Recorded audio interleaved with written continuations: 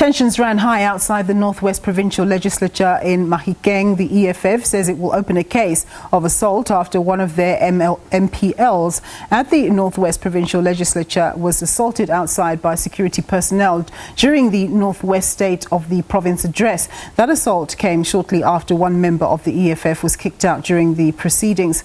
Uh, Sellwane Khakhau brings us an update on this from the Northwest Provincial Legislature.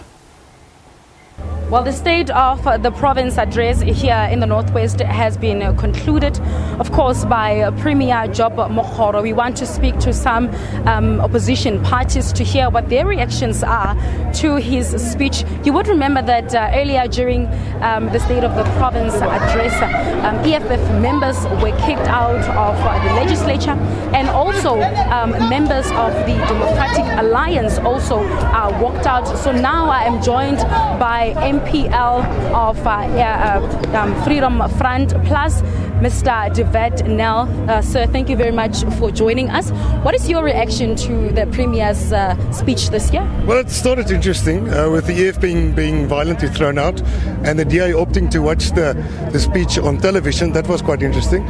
I have to say, when Job Mokgoro started speaking, um, there was a lot of things he said, but there wasn't a lot of substance, um, especially when it comes to municipalities. He clearly stated that we've got dire, big problems regarding municipalities, but there's no solutions. There's nothing that he spoke about the infrastructure, the aging infrastructure at municipalities, water and electricity, which is falling apart. There was nothing said about that. Also, the sewage plants, he didn't speak a lot about that, but instead they're talking about drilling boreholes to, to help or, or with the water shortage we've got in the province.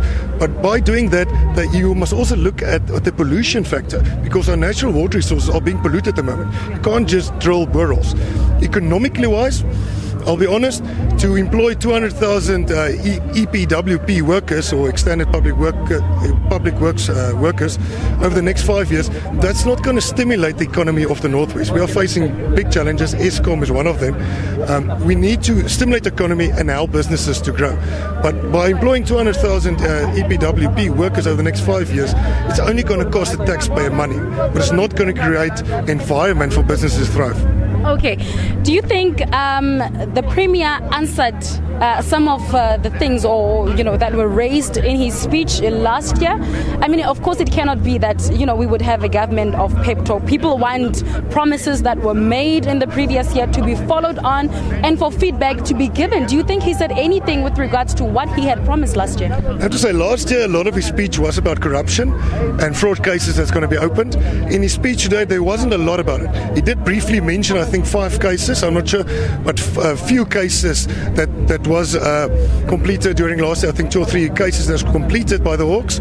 Um, he did speak briefly about uh, I think two or three other cases, but not a lot.